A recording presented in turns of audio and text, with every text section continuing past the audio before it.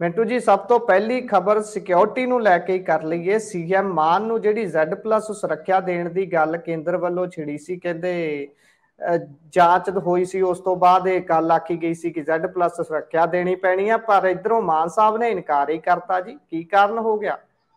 ਹਾਂਜੀ, ਦੇਖੋ, ਮਾਨ ਸਾਹਿਬ ਨੇ ਇਨਕਾਰ ਕਰ ਦਿੱਤਾ, ਚਿੱਠੀ ਲਿਖੀ ਹੈ ਕਿ ਭਾਈ ਸਾਡੀ ਜਿਹੜੀ ਪੰਜਾਬ ਪੁਲਿਸ ਦੀ ਜਾਂ ਸਪੈਸ਼ਲ ਸਿਕਿਉਰਿਟੀ ਜੋ ਲੱਗੀ ਹੋਈ ਹੈ ਕਿ ਇਹਦੇ ਵਿੱਚ ਸਾਨੂੰ ਪੂਰਾ ਵਿਸ਼ਵਾਸ ਆ, ਪੂਰਨ ਤੌਰ ਤੇ ਸਾਨੂੰ ਸੁਰੱਖਿਅਤ ਮਹਿਸੂਸ ਹੁੰਦਾ ਸੋ ਇਸ ਕਰਕੇ ਅਸੀਂ ਇਹ ਜਿਹੜੀ Z+ ਸਿਕਿਉਰਿਟੀ ਤੁਹਾਡੇ ਵੱਲੋਂ ਪੇਸ਼ਕਦਮੀ ਕੀਤੀ ਗਈ ਆ, ਅਸੀਂ ਇਹਨੂੰ ਬਈ ਰੱਦ ਕਰਦੇ ਹਾਂ। ਮਤਲਬ ਕਿ ਪਿਛਲੇ ਸਮੇਂ ਦੇ ਦੌਰਾਨ ਤੁਸੀਂ ਦੇਖਿਆ ਹੋਣਾ ਕਿ ਕਾਫੀ ਇਹਦੇ ਤੇ ਚਰਚਾ ਹੋਈ ਸੀਗੀ ਤੇ ਖਾਸ ਤੌਰ ਤੇ ਜਦੋਂ ਨੀਤੀ ਆਯੋਗ ਦੀ ਮੀਟਿੰਗ ਦਾ ਬਾਈਕਾਟ ਕਰ ਦਿੱਤਾ ਇਹ ਕਹਿ ਕੇ ਕਿ ਜੋ ਕੇਂਦਰ ਹੈ ਉਹ ਸਾਡੇ ਵਿਕਾਸ ਦੇ ਕੰਮਾਂ ਦੇ ਵਿੱਚ ਅੜਿੱਕੇ ਢਾ ਰਿਹਾ ਹੈ।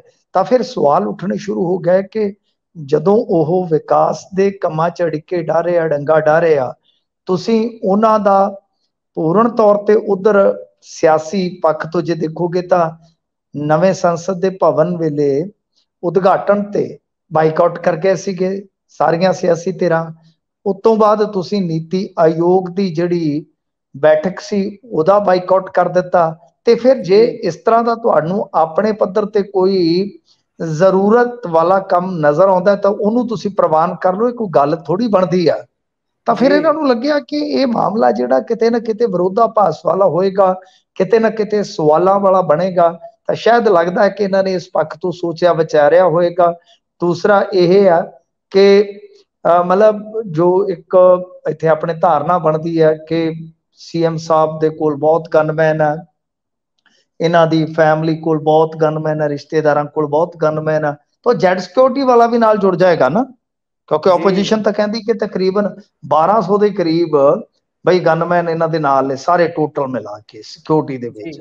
ਤਾਂ ਇਹ ਆਪਣੇ ਆਪ ਦੇ ਵਿੱਚ ਇੱਕ ਬਹੁਤ ਵੱਡਾ ਮਾਮਲਾ ਬਣ ਸਕਦਾ ਸੀ ਸਿਆਸੀ ਤੌਰ ਤੇ। ਸੋ ਇਹਨਾਂ ਨੇ ਸ਼ਾਇਦ ਇਹ ਕਹਿ ਕੇ ਨਵੇੜ ਦਿੱਤਾ ਕਿ ਹਾਂ ਭਾਈ ਨਹੀਂ ਅਸੀਂ ਜੈਡ ਪਲੱਸ ਸਿਕਿਉਰਿਟੀ ਨਹੀਂ ਲੈਣੀ।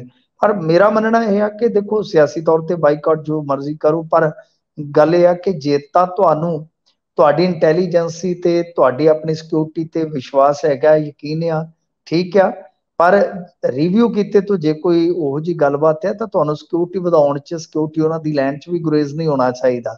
ਕਿਉਂਕਿ ਐਂਡ ਤਾਂ ਦੇਖੋ ਜਾਨ ਮਾਲ ਸਭ ਤੋਂ ਉੱਤੇ ਆ। ਜੀ। ਉਦਾਹਰਨ ਖਾਸਤਾ ਕੋਈ ਇਹੋ ਜੀ ਘਟਨਾ ਵਾਪਰੇ ਕਿਉਂਕਿ ਜੋ ਕੇਂਦਰ ਨੇ ਪੇਸ਼ਕਸ਼ ਕੀਤੀ ਸੀ ਕੇਂਦਰ ਨੇ ਪੇਸ਼ਕਸ਼ ਉਦੋਂ ਕੀਤੀ ਸੀ ਕਿ ਜਦੋਂ ਅਮਰਤਪਾਲ ਸਿੰਘ ਵਾਲਾ ਪ੍ਰਕਰਨ ਵਾਪਰਿਆ ਤੇ ਕਾਫੀ ਨਾਰਾਜ਼ਗੀ ਨਜ਼ਰ ਆਈ।